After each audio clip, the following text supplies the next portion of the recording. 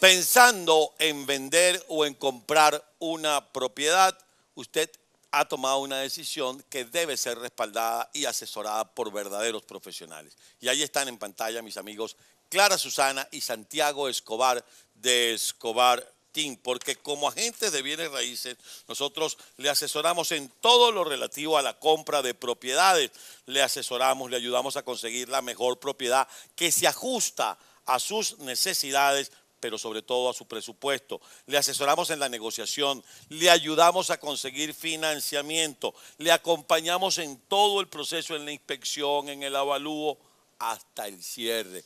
Y si usted quiere, mi querido amigo, invítenos al Open House, que ahí también le acompañamos. Ahora, si se trata de vender la propiedad y usted quiere hacerle algún remozamiento, alguna remodelación, redecoración, algún cambio, pues también tiene que hacerlo con nosotros, porque Clara Susana y Santiago Escobar de Escobar Team le ingresan a usted en el programa Compass Concierge. ¿En qué consiste? En que usted obviamente para hacer esa remodelación, para hacer esos cambios, ese refrescamiento, esas mejoras, necesita de un presupuesto, de un capital.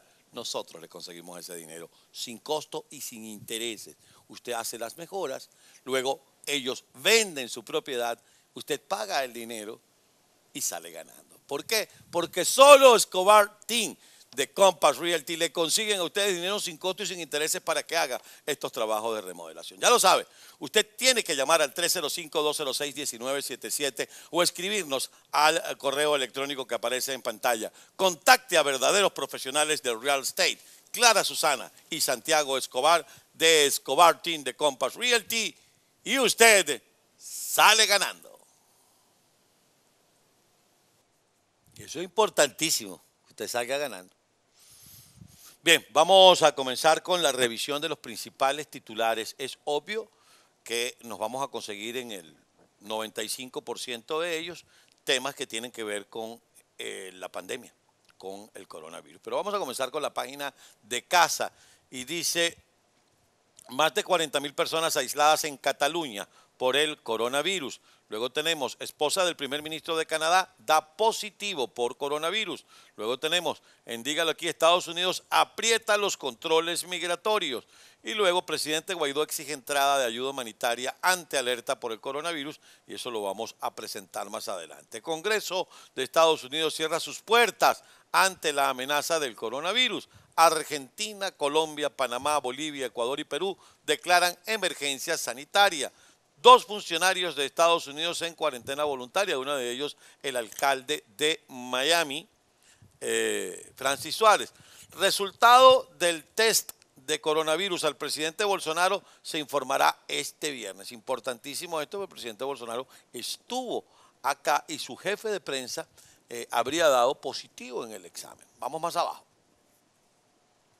Bueno, ahí tenemos a Renzo Prieto, diputado a la Asamblea Nacional, que será trasladado a tribunales y el juez se declara incompetente. Alonso Medina Roa, abogado del diputado Renzo Prieto, informó que el Tribunal 19 de Control se declaró incompetente para conocer del caso. Entonces lo van a llevar hasta un tribunal antiterrorismo. O sea, los terroristas del régimen se van a llevar a este caballero, que es diputado, a un tribunal antiterrorismo.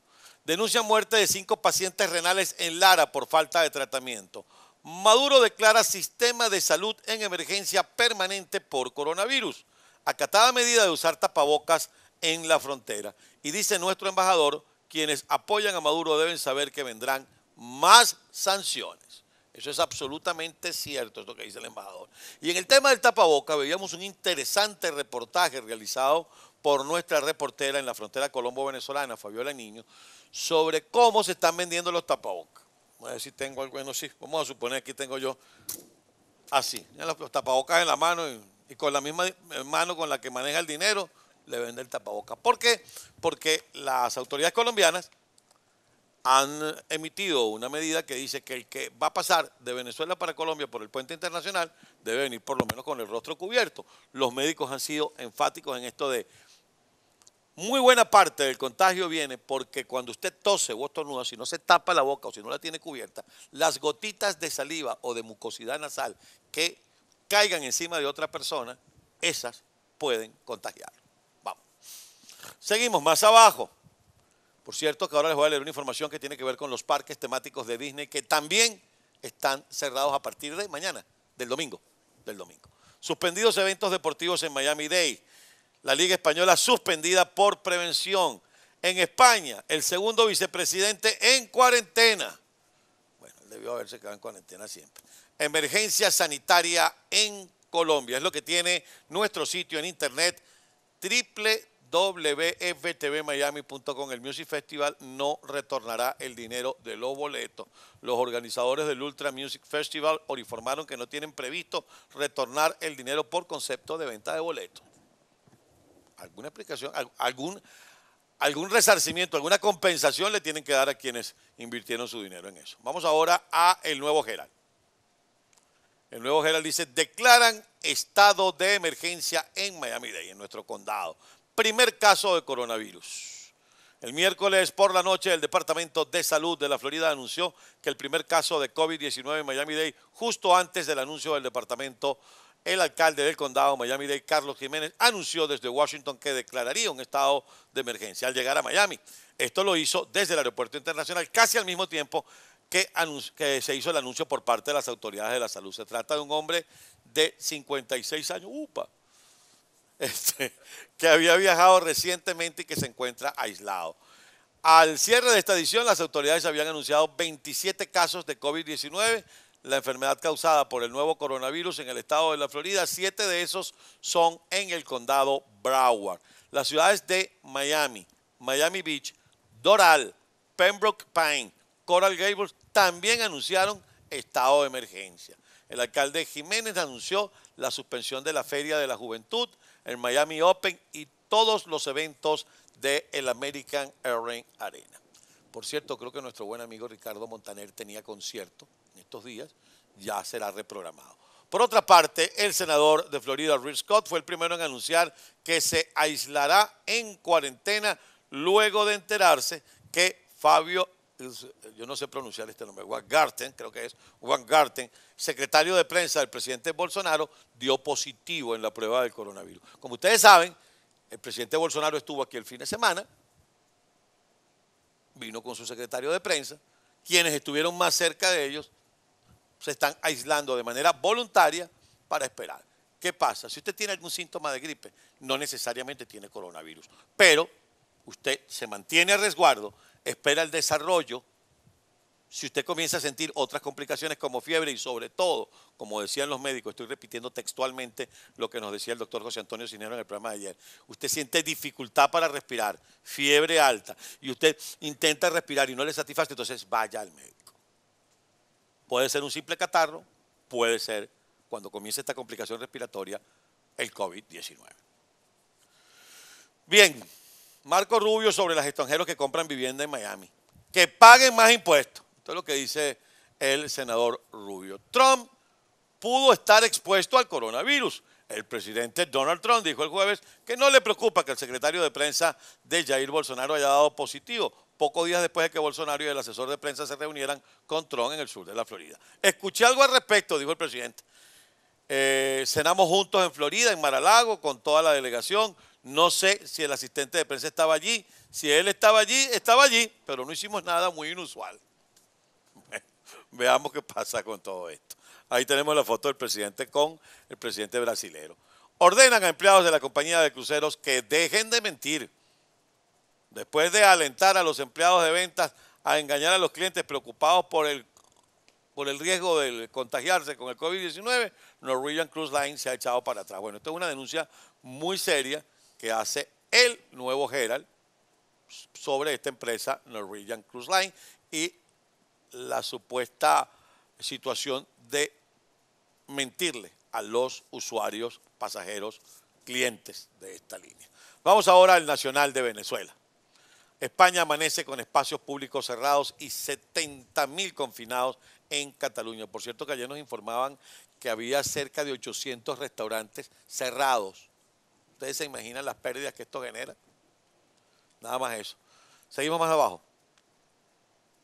Tenemos ahí esa, esa tira, la tira que se acaba de volar María Fernanda, por favor bájela. Exactamente. Trinidad y Tobago confirmó primer caso de COVID-19. Portugal declara el estado de alerta por coronavirus. China sospecha que Estados Unidos introdujo el coronavirus en su territorio. Esposa del primer ministro Justin Trudeau dio positivo. Disney, y a esto iba, cerrará sus parques en California, Florida y París. Es decir, Disneylandia, Disney aquí en Orlando y Euro Disney en París cierran sus puertas a partir de este domingo. La UEFA aplaza los partidos de Champions y la Liga Europea. Más abajo, mujeres deportistas cambiaron su vida gracias a la Embajada Británica. Falleció el compositor de Brokeback Mountain, Charles Warren. Los Reyes de España dan negativo en la prueba de coronavirus. La caída histórica de bolsas con Wall Street a la cabeza. ¿Nos vamos a dónde? Bueno, vamos a presentarles a continuación una nota realizada por el periodista de La Voz de América, Jacopo Luzzi. Normalmente en este programa, nosotros muy pocas veces referimos los noticieros, pero queremos llenarlo a usted de información, como decía yo al principio del programa, de información proveniente de profesionales para que de manera responsable usted tenga los escenarios. Veamos. El COVID-19 es una enfermedad nueva, considerada peligrosa y sin vacuna por el momento. Por esa razón es importante entender los síntomas porque es bastante común, según los médicos, confundir una influenza o una alergia con esta patología. El doctor Juan Tapia Mendoza en Nueva York aclara cuáles son los verdaderos síntomas del COVID-19. Por mucha tos seca, fiebre alta, malestar general y la persona empieza a a presentar síntomas de dificultad respiratoria alrededor del quinto día de la infección.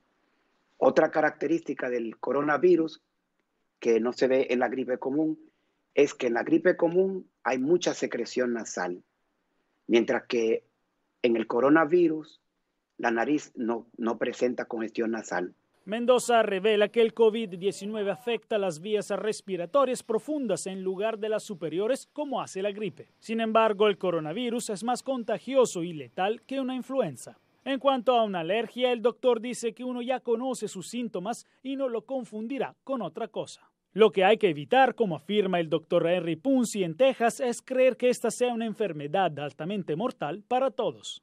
Lo que, lo que no quiero es que la gente se, se asuste, no quiero que la gente entre en pánico, no asuste no, pero pánico, eso es lo que pasa, de repente que desaparece el papel higiénico, desaparece el agua, eh, la gente entra en ese estado de, anímico y, eso es un efecto dominó.